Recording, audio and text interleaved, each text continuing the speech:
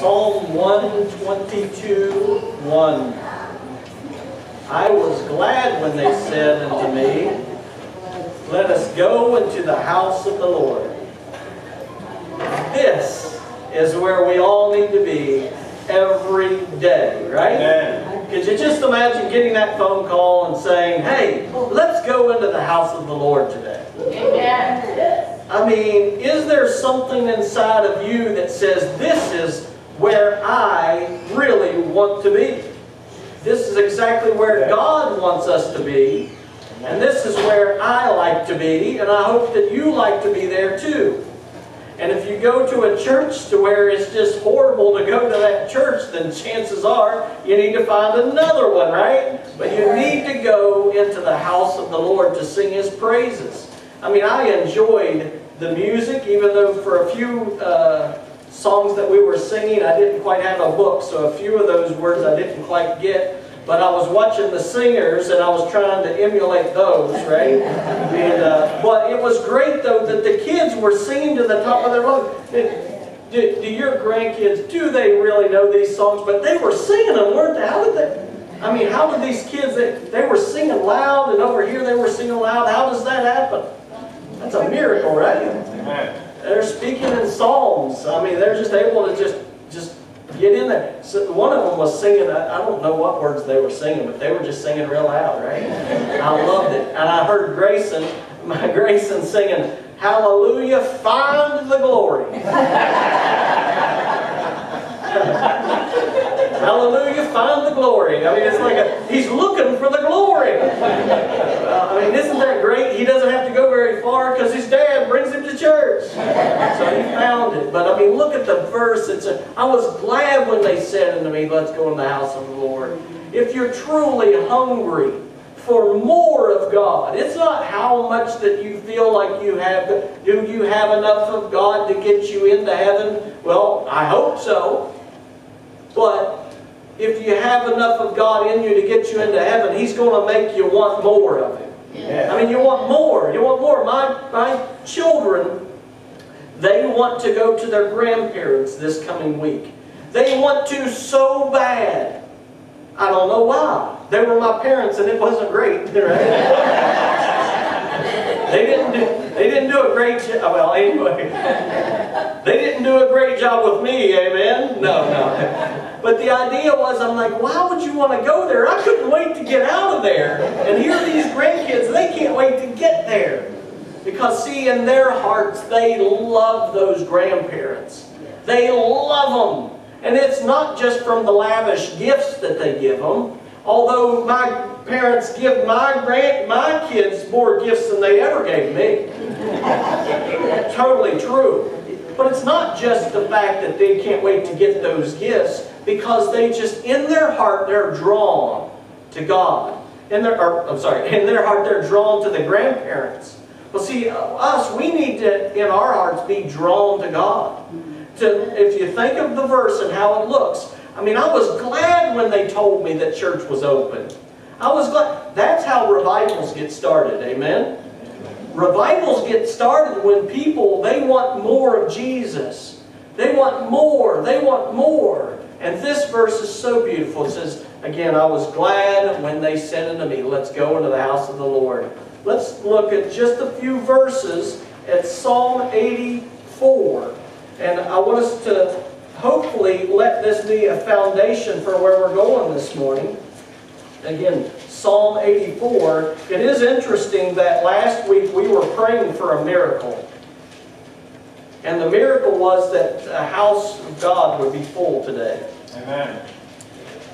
What are our expectations? Let me tell you what our expectations are. I believe that uh, Shirley was preparing the communion cup this morning. And she says, how many should we fill? And I think I said all of them. I said, I said fill all of them. I said 80. I said, how many chairs we got? And so we counted right here. We've got more. We can add more. So don't think that we're... But uh, she said, how many? I said 84. She said, she's going to prepare 84. So if we don't have, if we have cups left over, then we're just going to have to fill it up more next week. And it might be full next week because I'm out of town. and the people can't wait to hear John's sermon, right? Or Pastor Carl's sermon in the evening. So I'm saying that uh, it would be wonderful to get that text from John said, Pastor, I've arrived. I got, I got more people to come to my service than came to yours, right? And so, uh, yeah, if that happens, then praise the Lord. Make sure you take up plenty of tithes and offerings. So, uh, Psalm 84, look at these verses. Psalm 84 in your Bible, if you have a Bible. If not, I'm going to read it for you. So again, 80, Psalm 84, uh, verse 10. For a day in thy courts is better than a thousand. Think, think of this. For one day in God's area, God's courts, God's property, God's church, one day is better than a thousand anywhere else. Now, the rest of the world does not understand why we put going to church or going to worship God our priority. Because the rest of the world, it isn't their number one priority to go and worship the Lord, to go and learn more about the Lord. There are some people, you know that there are some people who will think, what? They will think, hey, I know, I know all I need to know about God. I don't need to know any more. Now that is very sad. Yes. Because no one can truly know everything that God is. Yes.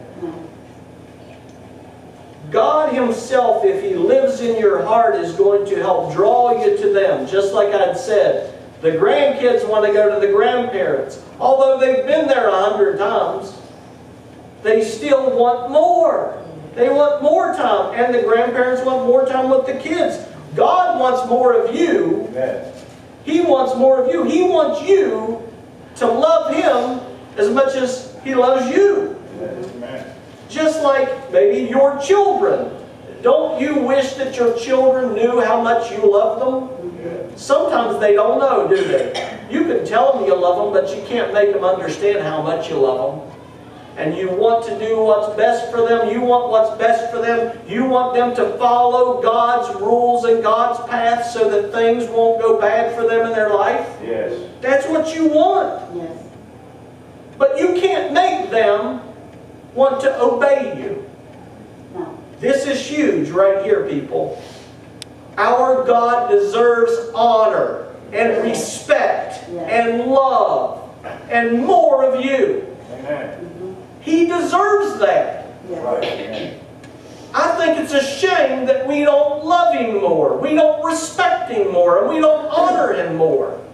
If He says that He wants you to truly know Him, then get to know Him more. Amen? Amen. For a day in thy courts is better than a thousand. I'd rather be, listen, I would rather be a doorkeeper in the house of my God than to dwell of wickedness.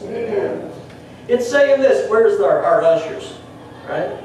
I would rather be an usher at the church than to be out there in the world with the rest of the people. Amen. And you're thinking, well, what kind of fun is that, being an usher? Oh, these guys, they have a blast. They love it. Just whenever you pull up, give them the keys to your car and say, drive it slow. but the idea is, look, see, the writer here loves God. Amen. The writer here says, I would rather be a doorkeeper than being out there with the rest of the world on Sundays or Saturdays or, you know, with the... I would rather be a doorkeeper in the house of my God than to dwell in the tents of wickedness. Verse 11, For the Lord God is a sun and a Shield. a shield. That means that He is the light of your life. He is the one who will help you see to get by. He is also the one who will do what? Shield you and protect you from the tempter. And the tempter is very good, isn't he? He is very good at trying his best to keep you away from that relationship with God. Yes. Yes. A lot of people think, well, wait a second, I, I've, I've got a good enough relationship to get into heaven. I don't need any more of Him. That sounds like something the devil would say, doesn't it? Oh, I need more of God because my God is my shield. He, he's my sun. He is the one who helps me to see. He helps me to get through. And He is my shield and my protector. The Lord will give grace and glory. Don't you love that verse? The Lord will give us grace. I need more grace. In fact, in fact, I came to the altar this morning and I prayed, Lord, forgive me of anything that I've done, anything that I've thought that was wrong, any impurities in my heart, any anything that I have done. I constantly like to do that. I like to go to the Lord and say, please, Lord, you know, make me a pure heart. Forgive me of the times that I've fallen short. And let me tell you one thing. God truly knows what you've done and where you're at in your relationship with Him. He knows that. Amen. You can't be a pretender. You can't fake out God. You can't lie to Him either. He knows if you're trying to justify sin, anybody?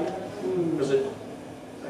If you try to say, well, it's okay to tell this joke, or it's okay to say these things, or it's okay to, it was just a little bit, God already knows. He knows if that's right or wrong. And if He lives in your heart, He'll reveal it to you too, won't He? Yes. Right. He says, again, the Lord will give grace and He'll give something else. And He gives what? Glory. Glory. You mean to tell me that God will bring glory to even Jason or through Jason to God? The answer is yeah. He will bring glory through you. If you glorify Jesus, you will be His glory. You see, God is going to listen to Jesus one day, and Jesus is going to stand before the Lord, and He's going to say, God, these are your joint heirs. These are my brothers and sisters in Christ. They will be able to receive all things. And glory will fall upon us. The Lord will give grace, the Lord will give glory. And listen to this no good thing will He withhold from them who walk uprightly. That means that God will not allow you to go without. He will be there with you, He will help you. Verse 12, O Lord of hosts, blessed is the man that trusteth in thee. So if you trust in Jesus, you will be blessed. Yes. That's, I mean, that's, just, cut- that's cut and dry, isn't it? Psalm 51. Psalm 51. I want to tell you about Psalm 51 so everybody can understand. You've heard the verse that says David was a man after God's own heart. It doesn't mean that David was uh, completely running after God all the time and never messing up. I think David messed up a lot. A whole lot. Let me tell you, you all know the story, right? David and Bathsheba. He looked in what? The lust of the eyes and the lust of the flesh, and even his pride because he was the king. He could have anybody he wanted. All three of those things drew him into a bad relationship with a married woman. And we're thinking, oh no, the unforgivable, unpardonable sin. Not quite. Because God later on forgave him. Amen. But he looked, his sins was before not only enduring that relationship, but also he ended up killing or having put to death that woman's husband. And now I'm thinking about this. He's a lawbreaker, murderous, adulterer. David doesn't look all that pretty, does he? Whenever you really think about it. You're thinking, but he was God's chosen one. Everybody in the house right now, Yes. you are God's chosen ones too. God didn't want you to go through those sinful life uh, styles that you had lived in times past. He didn't want that for you. Yes. And David actually wrote this psalm after Nathan pointed out his sins. Right. And David really understood this, that he was going to have to pay for his sins while here on earth. God allowed David not to experience a death, but his child would die. Yes. So now David writes this psalm, and I want you to hear his heart. And this is exactly what it takes for you, everybody listening, the people online, the people on our YouTube channel, all that. This is exactly what it takes for you to get in a right relationship with the Lord. Do you want to have a right relationship with the Lord? Do you want everything to be good? Yes. This is what it takes. Look at what David does. Chapter 51, verse 1. David goes before the Lord and says, Have mercy on me. Have mercy on me. Forgive me. O God, according to thy loving kindness, according to the multitude of thy tender mercies, blot out my transgressions. Yeah. You know, one time somebody got after me and got really upset at me because this person came to the altar and he says, Okay, I want to be saved and I want to be forgiven of my sins. And I said, Why don't you beg God? And a couple of those ministers around me said, Can you believe it? He said, Beg. I don't think we need to beg God for anything. Yes, we do. And I thought, wait just a minute. Are you so full of pride that you don't want to beg God? If you're that full of pride, I don't think God's going to show up. Amen. Amen. You have to get humble. And you have to realize that God Himself controls everything. He's the master of all miracles. Amen. And here he comes and begs God for forgiveness because guess what? He's guilty. He knows he's guilty and he's not trying to hide anything from God. Yes. That's what it takes to be in a right relationship with the Lord. Amen. Is when you totally understand where you've been and where you are. And he says, please, according to thy tender mercies. Think of it. Again, he's like, I know you're merciful. I know you're loving. I know you're forgiving. Just blot out my transgressions. What he's saying is, please forgive. Forgive it and forget all of my sins. Amen. He says, verse 2, Wash me thoroughly from mine iniquity and cleanse me from my sins. That means uh, wash me completely all throughout. Everything. Give me the full... I like it. I like it. When you, when you go to the car wash, do you just want that thing where it just sprays? No. It never works, does it?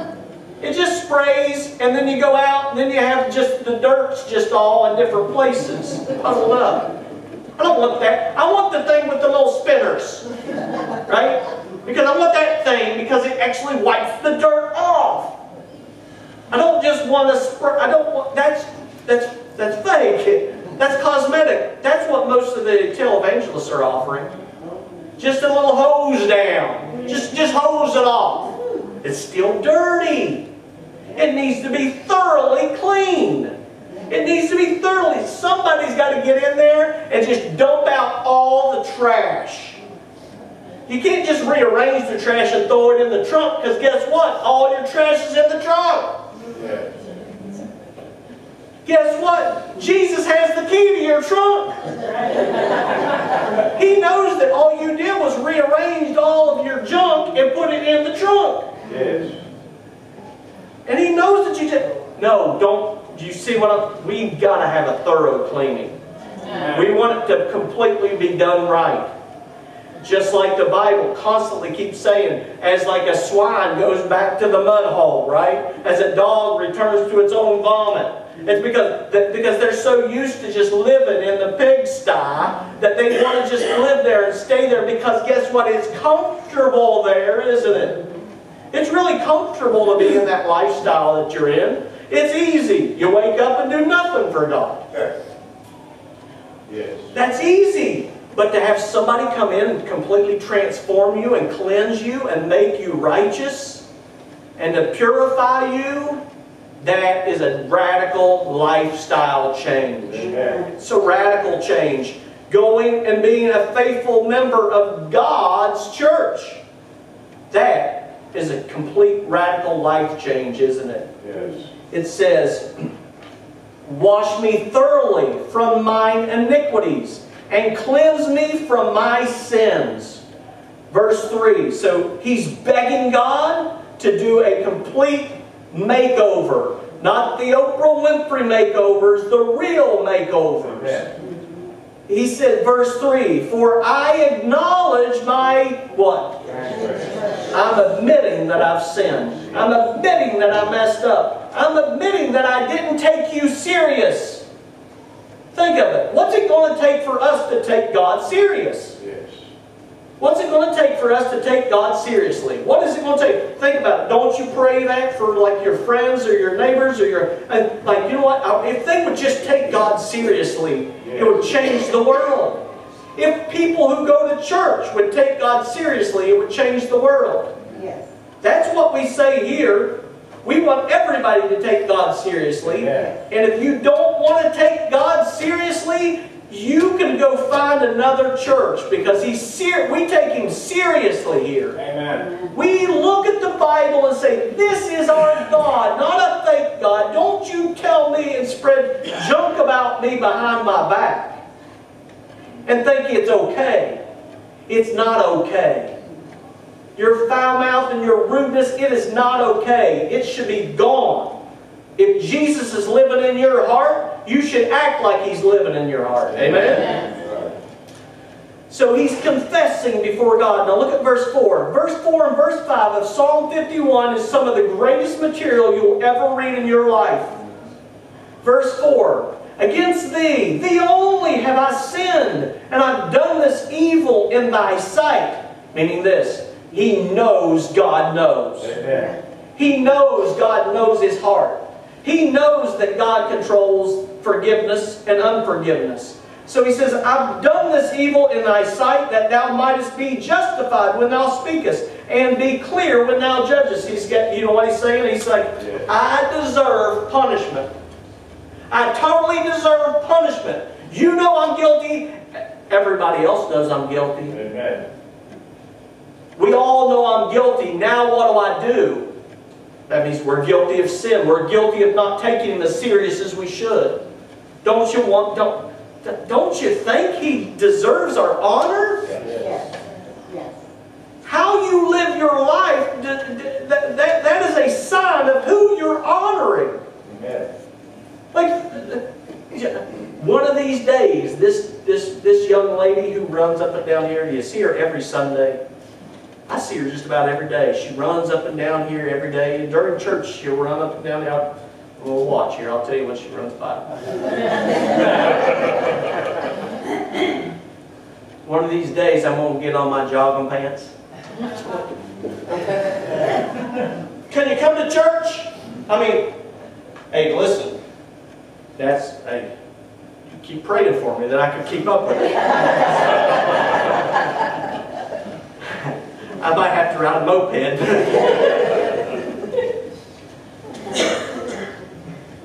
is she more concerned about whatever it is, her health? Is she more concerned about, you know, trying to stay in shape? I don't know. But I'll tell you this, I would love for her to put that effort into making sure that her and her family gets in the house of the Lord. Amen. Amen. I think our God would do the same thing. Amen.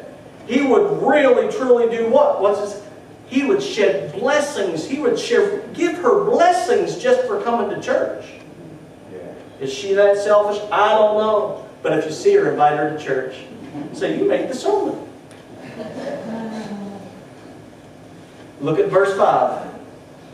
Behold, I was shapen in iniquity, and sin did my mother conceive me. Ladies and gentlemen, that's exactly where every one of us are. Behold, I was shapen in iniquity. That means that we were born into the sinful world. Every one of us was born into the sinful world, and this sinful world molds us into selfish people. Doesn't it? This world makes us selfish. Yes. We are so selfish that we will put our own, our, our, the things that we want to do ahead of God Yes. all the time. You're thinking, I don't know, Pastor, that's pretty rude and bold. I mean, if you want people to keep, you know, listening to the Word of God, you can't really get in there and tell them that. No, we're all selfish by nature because we're born into a sinful, selfish world. We've got to fight against that. Jesus fought against that. You want me to tell you what? We all say this, well, I have Jesus living in me, and Jesus gives me strength to overcome the world. Does He give you strength to overcome your selfishness? Does He? Does He have strength to overcome your selfishness? Yeah, yeah. Oh, He does. Don't you give God excuses. He knows better. We're supposed to be Christians. We're supposed to be Christ-like. Do you think, and we just talked about it in 1 John, Jesus was in heaven. He was in perfection. He was there. He had everything, whatever he wanted to do. If he wanted to create something, he could. If he wanted an ice cream, he could make an ice cream. He can do whatever he wants to do. And you know what he decided to do, though? He decided that even though he was in perfection, that he would come down here into a sinful world. Yes. And you're thinking, well, wait a second. If I'm in heaven, forget everybody else. He's up there. He has anything he wants. And he decided to be created into a sinful world, be a human, let those people double cross him, two time him, stab him in the back, and literally stab him in the side, and nail him on a cross, and try their best to kill him. They didn't kill him, he laid his life down. Amen. But they despised him, they rejected him, they treated him like a dog. And he did all that so that you and God would honor him. Honor him. Do we honor him? Yes. I mean to tell you, that you- might as well get it ready, Mary. I used to sit in a church, a whole bunch of churches, and they would always sing, I surrender all. Yeah, I. I surrender all. And everybody sung it. It was so beautiful. You could hear the altos. You could hear the, and the altos make a choir, by the way. If you're an alto, you make the choir. I mean, sopranos, they're great and all. They sound real pretty, but the altos, man, they keep it. Oh, I mean, especially in those Baptist churches. This ain't too far from it now, don't you? Think of this. And we would sing, I surrender all. And as I was singing that song, and it sounded so pretty, and I looked at the words, and I was like, man, you know what? I don't know if this is completely accurate. If I should really be singing this song, because I'm even lying in the house of God. I'm singing that song, and I'm lying through my teeth. How can I, how can I do that before God in His house? And I'm lying, I surrender all. I didn't really want to surrender all. Amen. I was sitting there, I was oh, I don't want to surrender all. I mean, you imagine what it would be like if we really surrendered all? How does it go? I surrender all to Jesus. All to Jesus, I surrender. I surrender all. You see, ladies and gentlemen, everybody, if your neighbor's asleep, wake them up. Here's the deal.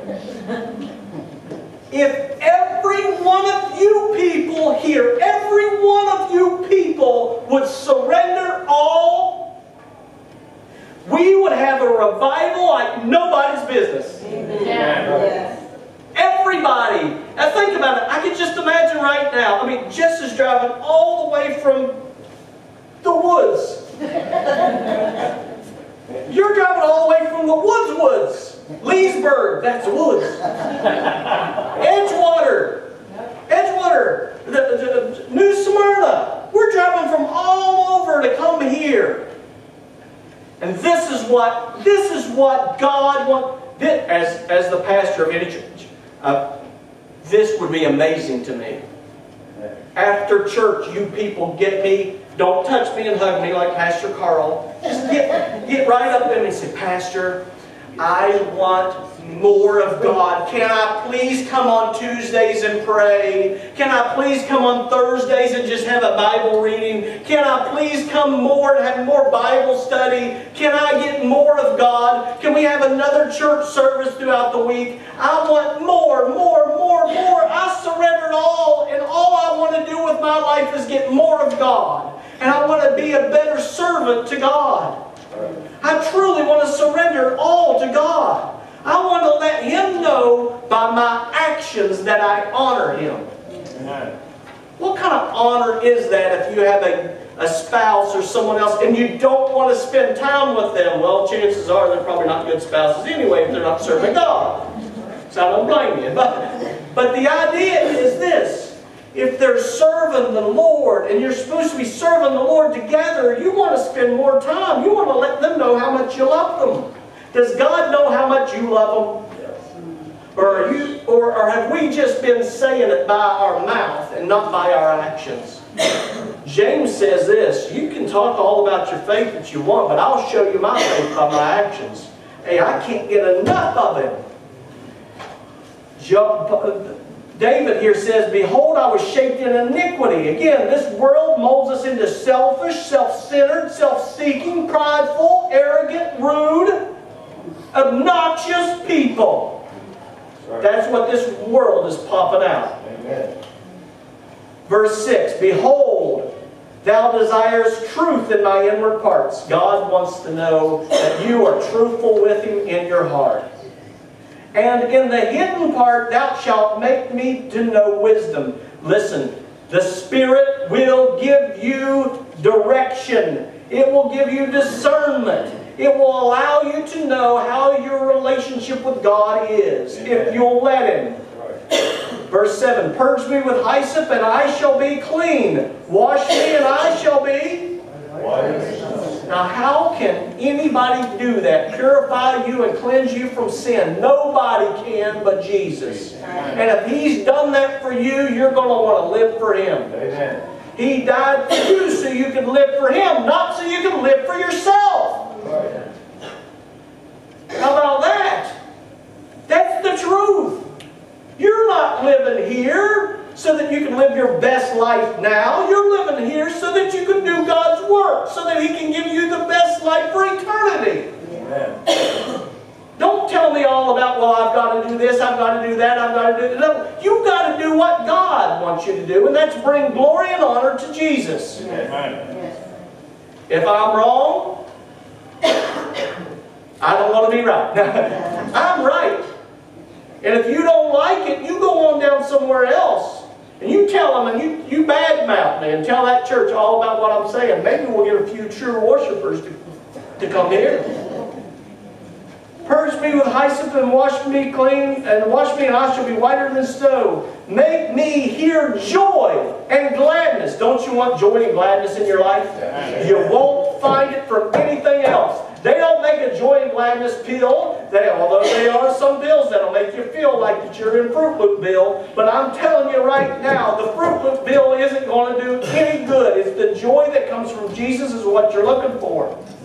Every time. There are people sometimes in their life is miserable, they hate their life, but and they're trying to look for things and they're trying to say, what is going to make me happier? Is it going to be drinking? Is it going to be dope? Is it going to be this drug or that drug? What's going to kill my pain? What's going to make me happy? Have you ever thought for one second that maybe that is Holy Spirit conviction falling upon your life, making you feel like you have a miserable life because you don't have Jesus in your life. You haven't fully surrendered your life.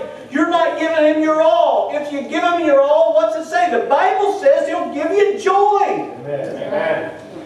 Give it more to Jesus. Don't give it less. Right. Right.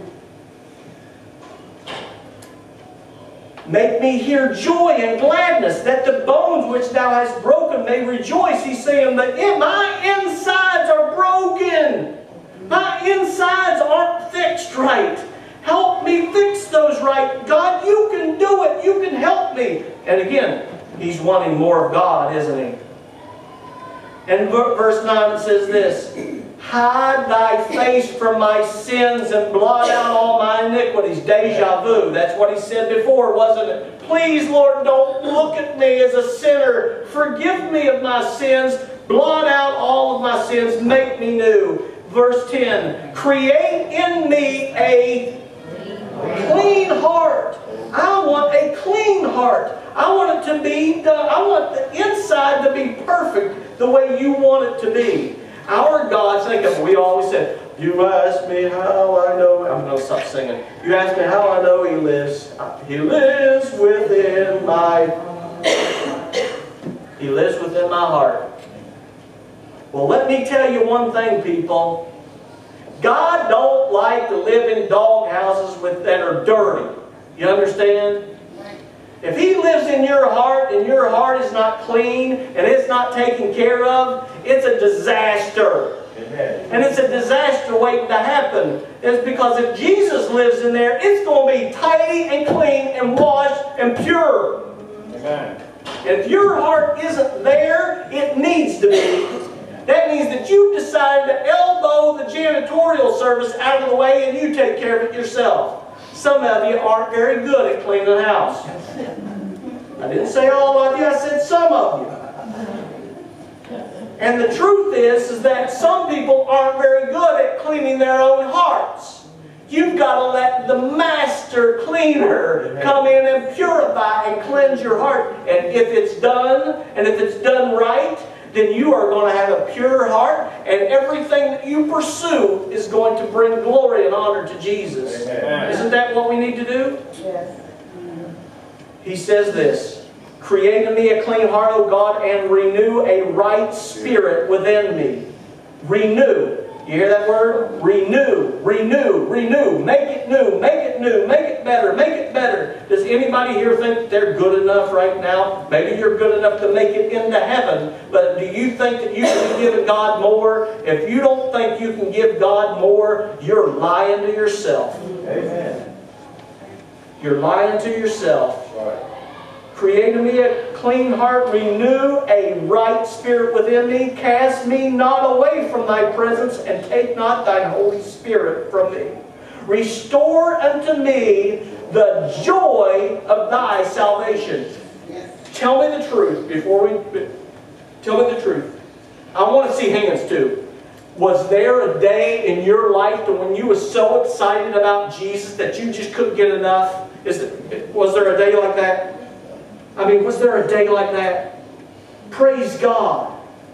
Do you want those days to come back? Yes. Do you want those days to come back? God wants you to have those days. Amen. But you're getting in front of God's will.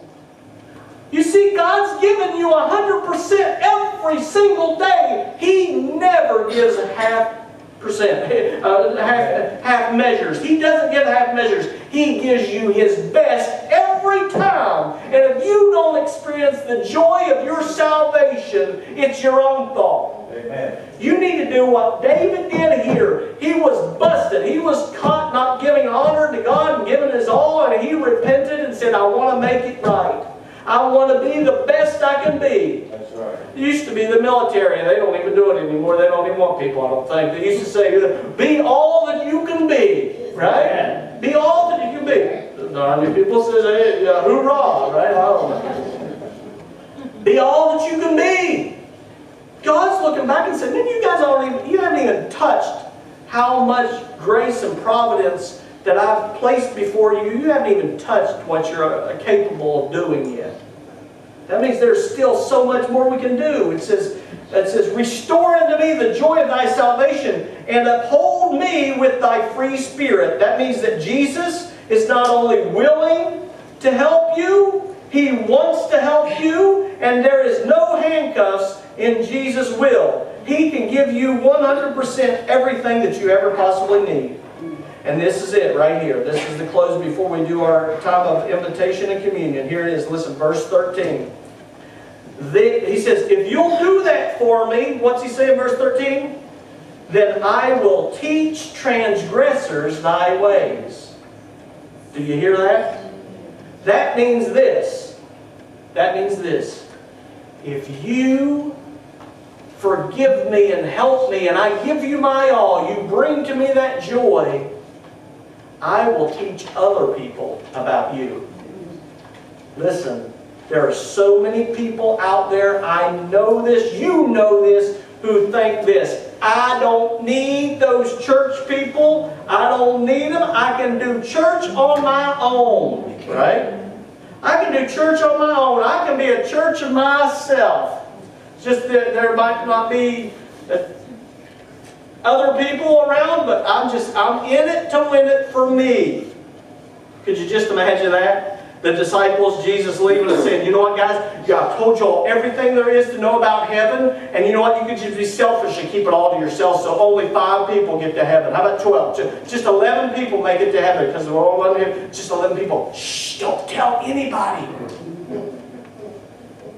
You think that's what he wants? Of course not. You're supposed to go to church and encourage people. You're supposed to go and encourage people to hear the truth. You're supposed to encourage people, help people, help the church grow. That's what we're supposed to do. He says that once you completely blot out my sins, you come into my heart, you give me a pure heart, I'm going to teach other people all about you. And sinners shall be converted unto thee. That means that people will get saved. You're going to tell people about Jesus. You're going to ask them to come and hear the Word of God. Isn't that not exciting? That's how the church is supposed to work. If we will get serious about Jesus, He's already serious about us. And you keep looking at the news, I keep looking at the news, and it's just a mess. Bunch of dirty, lying, cheating, no good for nothing. I feel like Yosemite Sam. I don't even know what he was saying half the time. You trying to do it for us? That's the Tasmanian devil. I know what he was saying. I look at this place and it's awful. There's got to be somebody out there who's willing to stand up for the truth and give honor to Jesus. And I say right now, before I thump my Bible, that you people had better say this. Listen, who shall God send to be His people? It should be us, amen? Amen. And if it's you, if you're willing to be the one that Jesus wants to help trans, trans, change the world, then you should say amen. Look at this. I like this because my words, they don't come out as good as the ones on TV. Those guys on TV, man, they are so good. They're so rehearsed. I know one guy who rehearses it really well. But let me tell you, this morning before I came, I decided just for once, I'm going to just turn it on this one show, is religious channel. And you know what they spent the whole morning doing? Selling vitamins. They had the Bible there on the table. And they were like, you people really need this. It will help you, and it says, it will help your face have its elasticity back. Don't you women, aren't you just, don't you just want to grow, grow old gracefully? Well, if you take these pills, it will just take those wrinkles right away. And I thought, this is a religious program, and they're trying to sell these. And they're like, if you buy two now, since this is a religious program, we'll give you one bottle for free. Let me tell you, let me tell you, there are no gimmicks. It's either you surrender all to Jesus, or you ride the fence like the church at Laodicea. You're lukewarm. There's no in-betweens. You're either on God's side or you're on the devil's side. And the devil's side is the selfish side.